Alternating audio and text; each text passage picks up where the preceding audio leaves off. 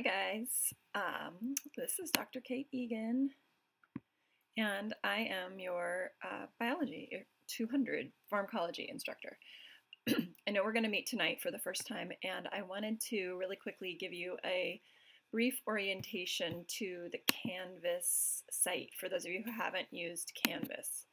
So I'm switching to the student view on my screen because I forgot to do that. Okay, so when you log into your Canvas site, you should come um, up on this first page, which is the home page. So some of you may have taken hybrid classes or online classes before, others of you may have not. So I just want to set a little bit aside of set a little bit of time, pardon me, aside to help you navigate this site. I'll show it to you in class tonight as well, but sometimes people miss the first class or they just forget where things are located. So I just wanted to show it to you. It's a little easier when you can do it from your own house. All right, so this is the home page. You can see our little title up there.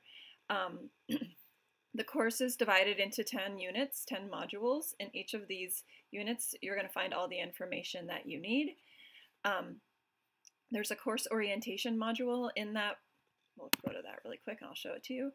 Because this is a hybrid class, there are some things I wanted to make sure you guys got to see. This is just a little letter that you may have already read that gives you an introduction to the class.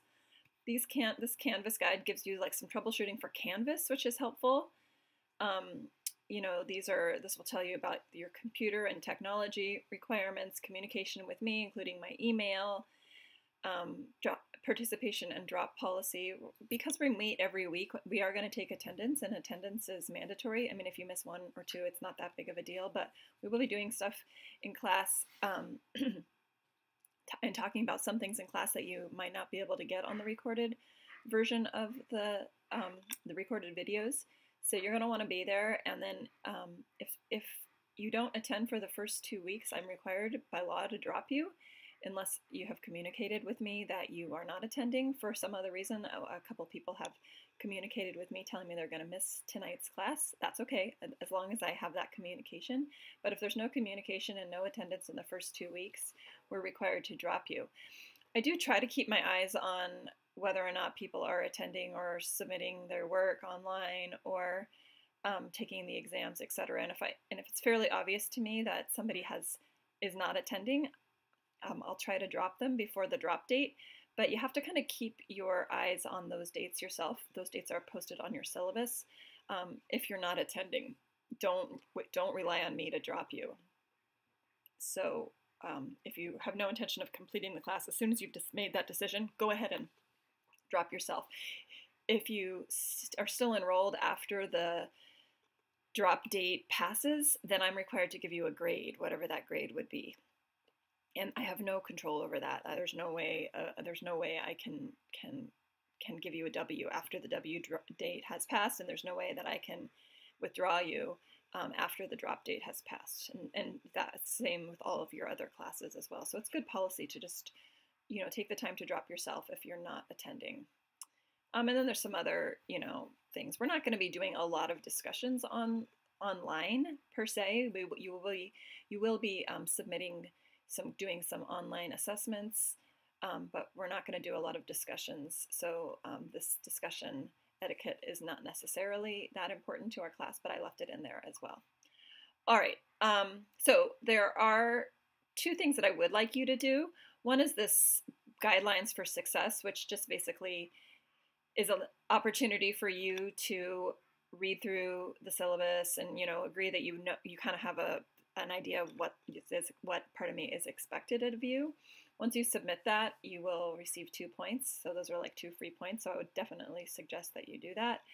Um, the, the survey is up right now, and I'm going to leave it up for two weeks. So I'll leave it up until the um, it's called the census date, which will be two weeks uh, two weeks from this Friday. So that's when it will disappear. So make sure you take just a few minutes. It won't take long for you to do that. That, that is another way for me to say, oh yeah, this person has been in the class, etc. And then there's the student introduction. I would like you to, let's click on it and see what it, if it opens for us. I would like you to introduce yourself. Um, one, it helps me. And that goes for when you set up your Canvas profile. Also, um, if you put a picture of it, of yourself or of something that, you know, is that you like, your cat or your dog or whatever. Sometimes it's um, helpful for me to see a visual, like if someone's emailing me, um, especially pictures are most helpful, but sometimes people don't want to put their picture up on on Canvas. But you know that helps me to kind of get a little bit more familiar since we only spend an hour together and it's kind of a big class. Um, I like to be able to put faces with names. I'm better with name with faces than I am with names, so it helps me to kind of link you together.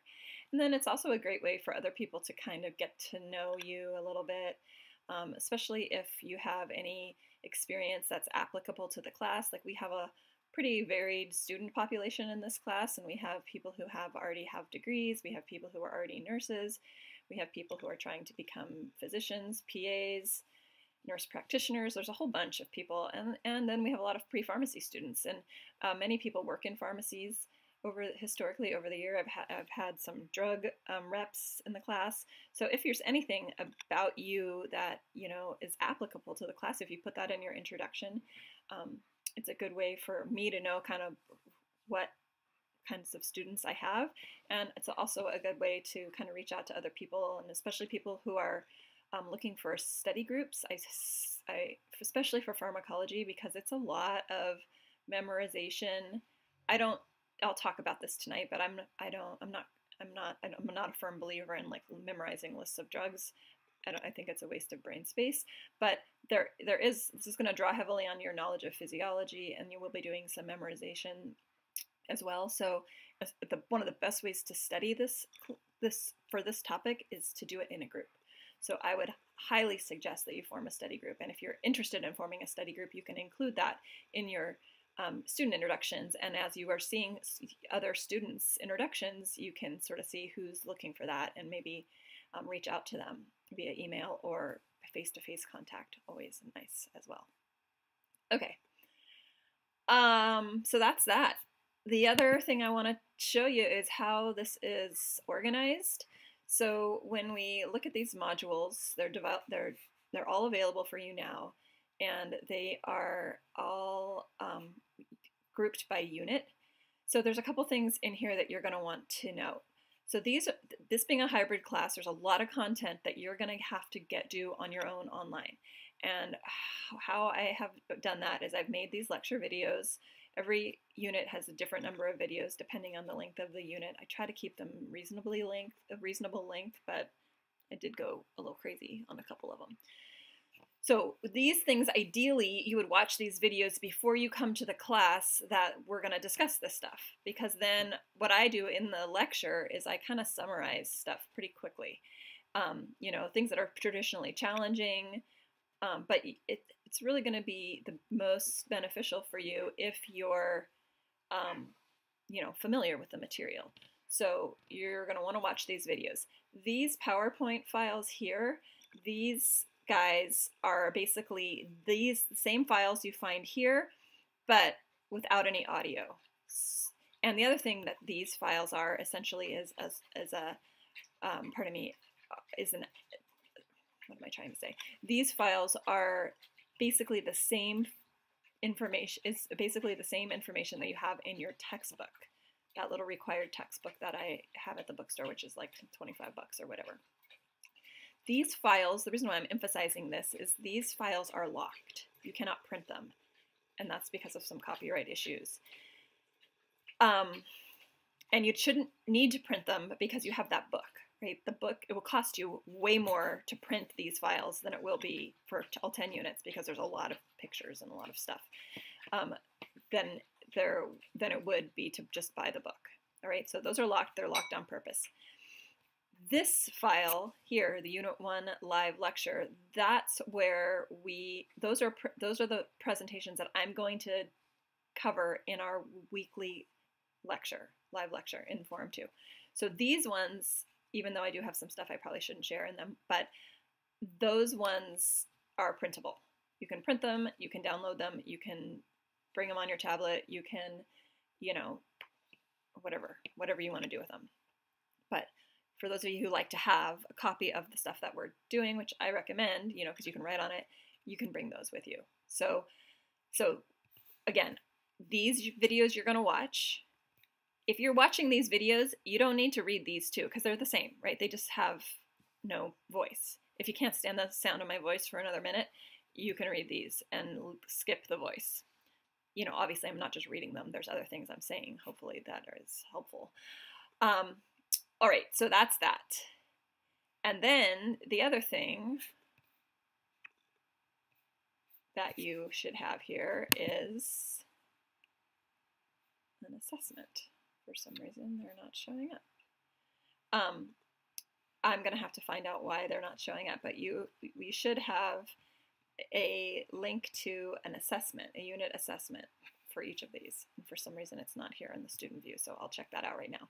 But for each unit, there's, there's going to be a, a 10-point um, assessment. And you're going to want to do that ideally before you come to lecture, but definitely before you take your exam.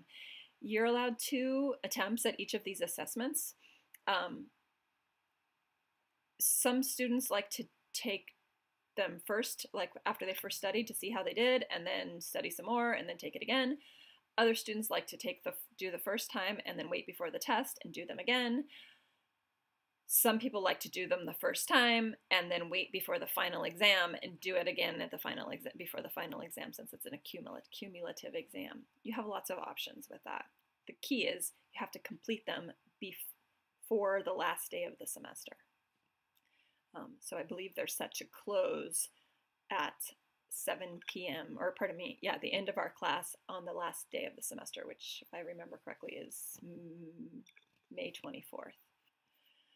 All right, so I think that's about it. Um, there will be a hand, I'm going to add, um, the Canvas situation is kind of new, but I'm going to add um, on this home screen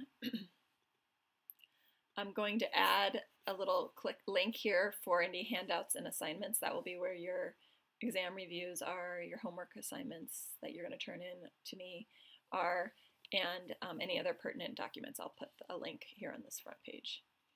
So I think that should do it. Um, oh, one more thing. If you're having any issues with your Canvas, you can click on this link, and that's the, G, the GWC Help Desk. They're super great there.